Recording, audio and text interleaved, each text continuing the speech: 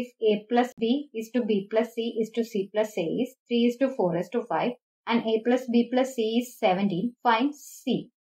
Here you, if you check, you have 2a here, 2b here and 2c here.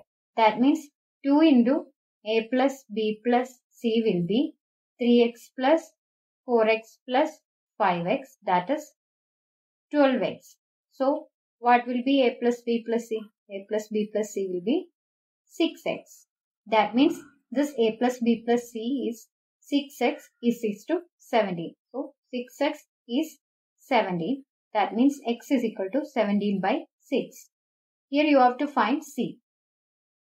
Here a plus b is equal to 3x.